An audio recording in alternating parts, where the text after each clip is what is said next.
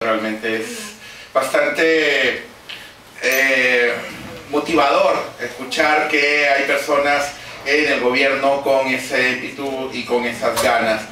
Y justo voy a tomar la última frase que mencionaba Susel sobre el tema de que hay que comenzar a trabajar sobre documentos, cosas este, jurídicas, internacionales y no necesariamente sobre lo que nos puede parecer o lo que este, está eh, eh, dentro de nuestra experiencia propiamente, ¿no? sino ir juntando las dos cosas. Entonces yo voy a hacer una pequeña presentación en base a un documento o partiendo de un documento internacional validado de Naciones Unidas que es, por llamarlo así, eh, la primera guía o base sobre lo que tenemos como derecho a las personas TLGB.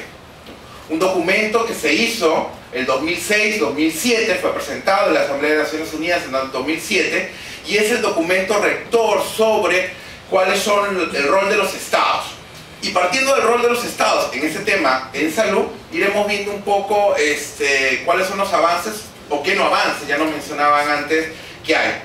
El principio 17 de los principios de Yakarta, eh, se llama Yogyakarta porque fueron hechos en Yogyakarta, Indonesia, no, no, hay ningún otro misterio detrás. El principio 17 es el derecho al disfrute del más alto nivel eh, posible de salud.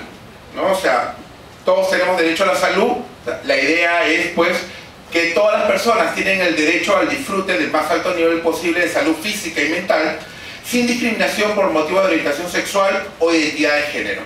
La salud sexual reproductiva es un aspecto fundamental de este derecho, pero no es el único. ¿no? Entonces, más adelante lo vamos a ver, a veces siempre nos quedamos con una idea de gay, trans, bisexuales, ITS, VIH. Entonces hay, que verlo también desde una gama mucho más amplia.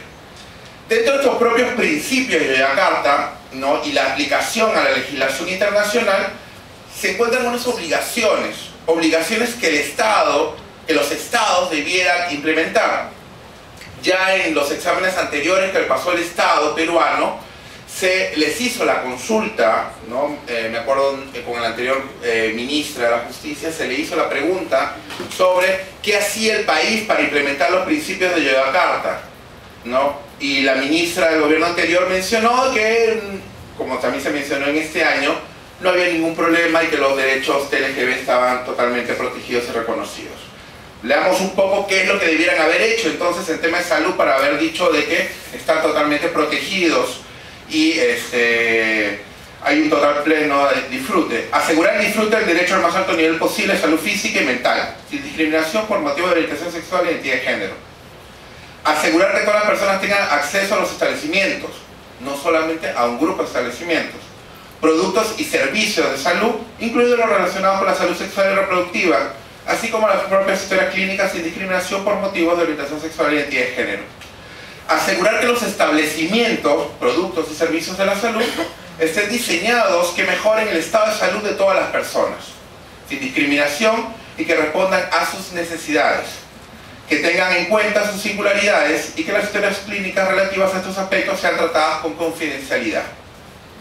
Desarrollar e implementar programas encaminados a hacer frente a la discriminación, los prejuicios y otros factores sociales que menoscaban la salud de las personas debido a su orientación sexual y identidad de género. Garantizar que todas las personas estén informadas y su autonomía sea promovida a fin, a que puedan tomar sus propias decisiones relacionadas con el tratamiento y la atención médica en base a un consentimiento genuino informado, sin discriminación por motivos de orientación sexual y identidad de género.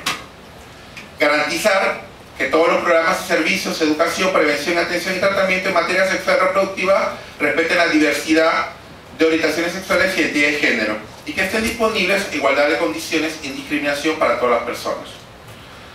Los, los que siguen, facilitar el acceso al tratamiento, atención y apoyo competentes y no discriminatorios a aquellas personas que procuran modificaciones corporales relacionadas con la resignación de género.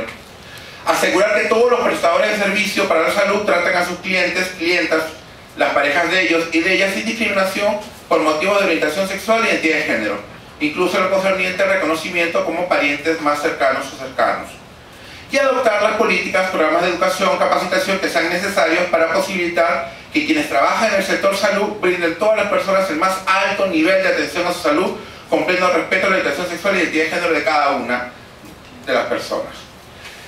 Si estamos cumpliendo los principios de la Carta y estamos respetando al 100% los derechos de las personas LGB, de mi persona como gay, de su ser como lesbiana, todo lo que he leído se está cumpliendo en este país. Todo lo que he leído, ustedes, muchas, muchas de ustedes, muchos de ustedes, lo ven en los sistemas de salud. Pero así no es. No es la figura que se presenta. Ernesto, un médico especialista de la población del LGBT. La realidad también es que los profesionales de salud tienen prejuicios y esto limita el tipo de atención que debe dar. Además de eso, también debería haber una cierta infraestructura. Una mujer lesbiana, por ejemplo, que tiene, mayor, que tiene mayor respaldo a la evolución ginecológica y esto toma su tiempo, igual para el resto de la diversidad sexual. Se necesitan ciertos mecanismos afinados con cautos y conceptos técnicas para abordar a la población.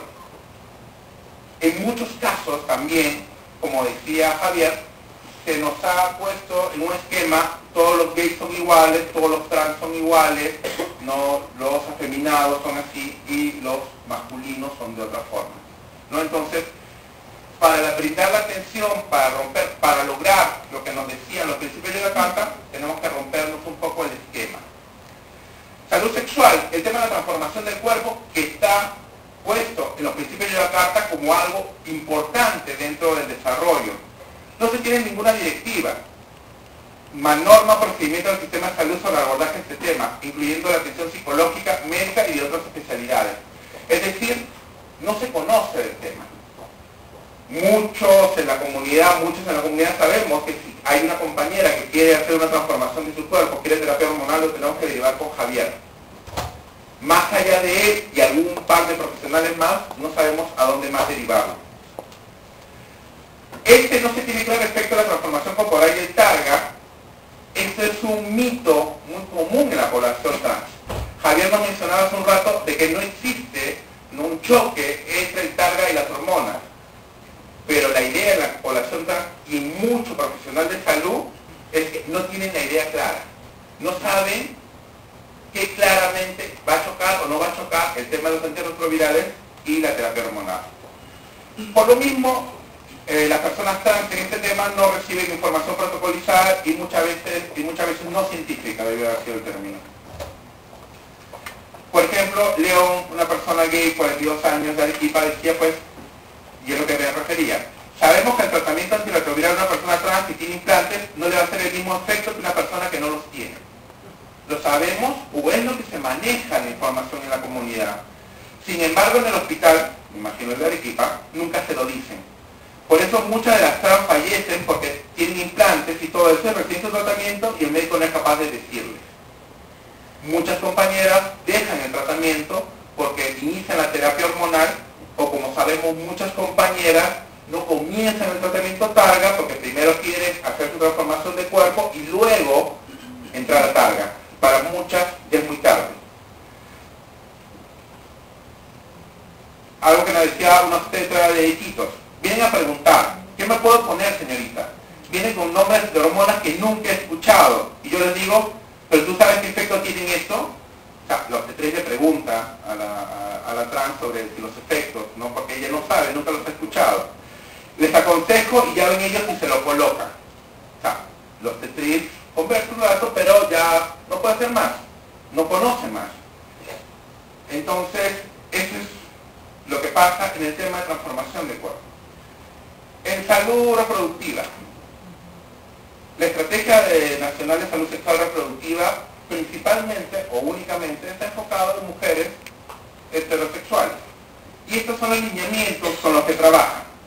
Prevención del embarazo no deseado, abordado de la planificación familiar, la prevención de la mortalidad materna con el control prenatal, la adecuación cultural del parto, la atención de emergencias obstétricas y la prevención de la remisión vertical de VIH y la sífilis congénita.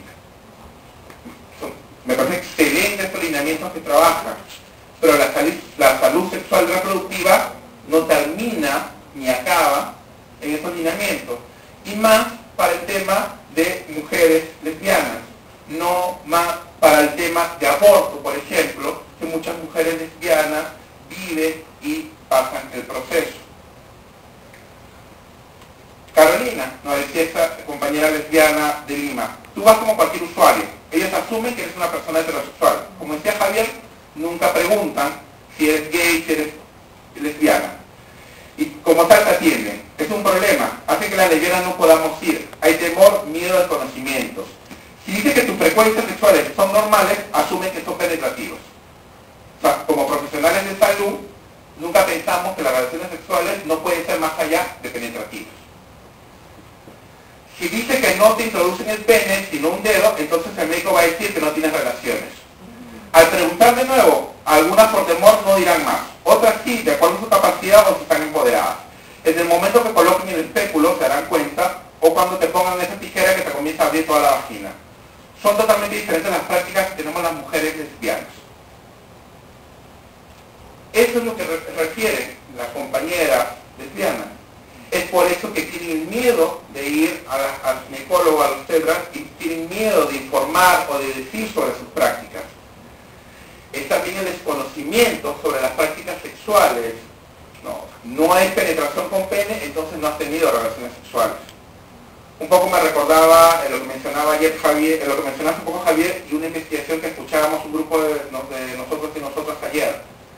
El sexo anal en mujeres heterosexuales está arriba del 30%.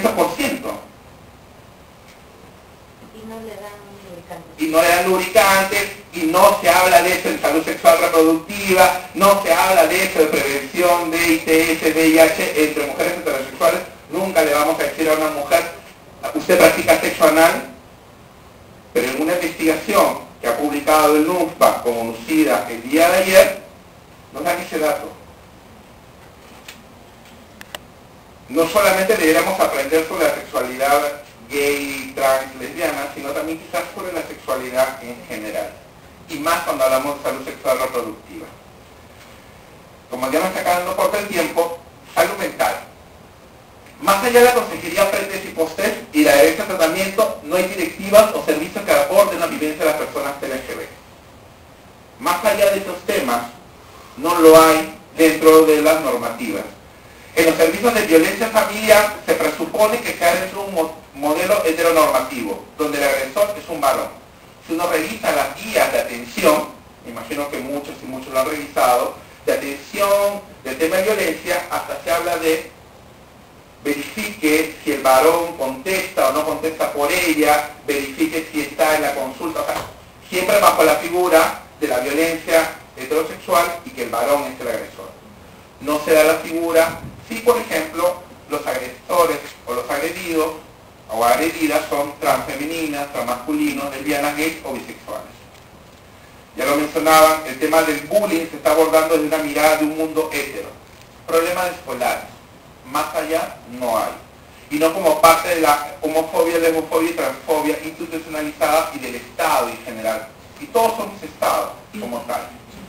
Los chicos tienen miedo de ir a las escuelas, tienen miedo de ser violentados, pero se sigue mirando como un problema escolar, ¿no? Algo no muy grande. Y nos aborda temas de procesos de autoestima, discriminación, transformación corporal, problemas de pareja, drogas, depresión, entre otras cosas. Tuve la oportunidad el año pasado de trabajar con un centro comunitario, quinto piso, que sigue brindando servicios. Hay varios centros comunitarios este, de la sociedad civil que brindan servicios a la comunidad, quinto piso, epicentro, ¿no? algunos otros, donde se da brindada consejería o se brinda consejería gratuita a las personas. Las personas que venían, gays, trans, lesbianas, había un grupo, sí, con el tema VIH, pero principalmente venían por otros temas. Relaciones de pareja, temas de familia. yo he trabajado con familias de personas que me decían, ¿cómo acepto a mi hijo? Yo lo quiero, yo lo quiero aceptarlo, ¿cómo puedo ir a, poder cambiar yo? La familia, no el hijo. Esos servicios no se dan desde el sector público, o muy pocos psicólogos y psicólogas manejan eso. Nos falta evitando, o sea, no es tanto la estrategia de salud de VIH y TS, sino es salud mental. cómo podemos abordar el tema, drogas, alcoholismo, pero desde una mirada, desde un mundo, desde una socialización en una comunidad gay, trans, que quizás tiene otros mecanismos. Claudia Montalvo, una compañera lesbiana conocida, totalmente pública, que tiene su familia y nos comenta, tener una familia homosexual es más caro que tener una familia heterosexual. A mi hijo, por ejemplo, tengo que ponerlo en un colegio donde no se le discrimine por, tener dos mamás.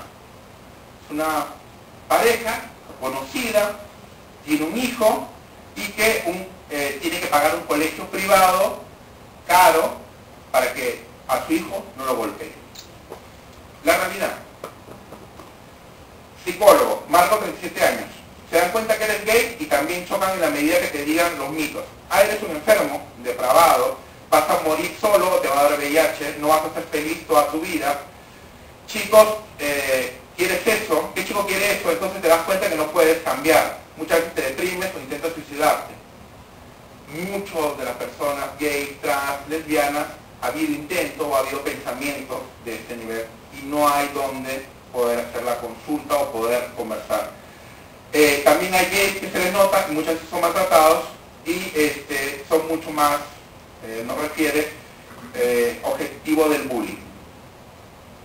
Como atención integral, actualmente los servicios que se brindan, lo que hablábamos antes, ITS, VIH, no brindan o no ayudan a brindar una atención integral una compañera trans puede llegar con problemas sintomáticos respiratorios, todo de más de 15 días, y lo primero que le van a decir, hazte un test de VIH.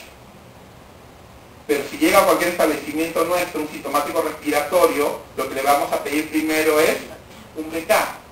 No, a las trans les piden primero un test de VIH. Y como ha pasado, puede salir negativo y después le hacen el BK. Y puede tener TB población vulnerable, pobreza. Pero primero es VIH. Primero hace el análisis de sífilis y luego te veo todo lo demás. El estigma y discriminación como principal barrera para buscar una atención integral de diferentes servicios. En el caso de la población trans, si está más expuesta a la discriminación, por ejemplo, alguien que va al CERIS y tiene alguna enfermedad que no corresponde al CERIS, no le van a brindar el servicio. Es decir, yo tengo un problema bucal, yo tengo un problema de otro tema que no tiene que ver con el CERIS, y no me van a atender. Probablemente lo deriven a otra área del hospital, porque no hay una visión de integridad del servicio. Si una persona no tiene ITS, sus exámenes salen bien, pero tiene otros problemas, está depresivo, por ejemplo, tiene problemas de ansiedad, en el CELIX también poco lo van a tratar. O sea, como estamos presentando los servicios, tampoco nos ayuda a brindar una atención integral.